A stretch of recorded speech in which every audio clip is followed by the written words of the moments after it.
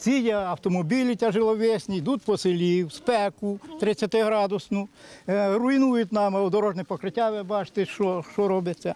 Хати всі полопали, розумієте? О, і ночі їдуть, днем їдуть. Вчора коло мене напроти подвір'я чуть не збили малу дівчинку.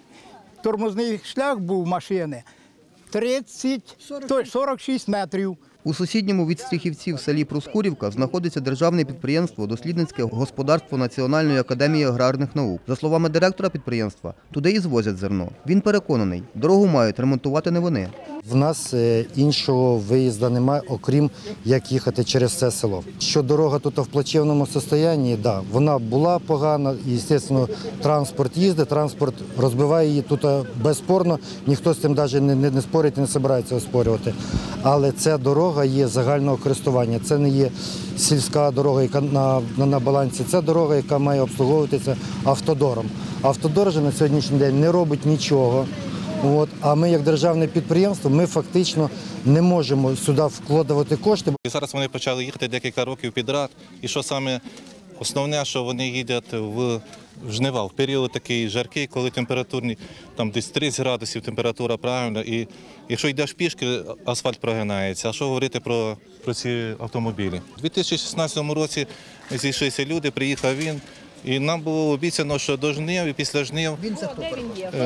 Е, директор радгоспу. Що він частково вложить гроші і частково буде ремонтувати дорогу, тому що основні це його машини, які вивозять зерно в жнива. Та? Але, на жаль, до жнив ремонту ніякого не було. Після жнив, відповідно, теж, не- було. Ми думали, може проблема з коштами. На другий рік опять жнива, автомобілі ходять, 20-30 автомобілів жнива, дорога руйнується, хати лопають, а реакції немає ніякої. Аби пересвідчити, що вантажівки перевантажені, селяни викликали працівників Укртрансбезпеки. Ті розгорнули ваги. Водії відмовилися заїжджати на ваги. Що ви тираєте, що ви даєте на вагу, як ви такі кричать? Що ви тираєте? Докажи, що ви не везете вищі норми, і все. Потрібно поставити нормально віса. Є для того площадка, будь ласка, хай їдуть на станцію чи куди виставляють віса на рівну площадку, а не тако.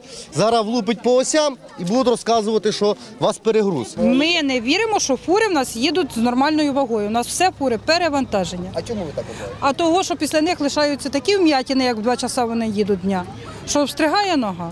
Там їх не важить ніхто, бо там нема чим важити. Вони собі їдуть як хочуть.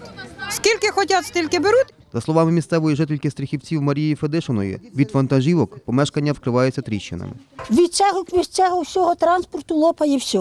Їдуть вночі, а вночі їдуть то вже гудить все одно як поїзд. В хаті все трясеться, все аж тако тарахкотить.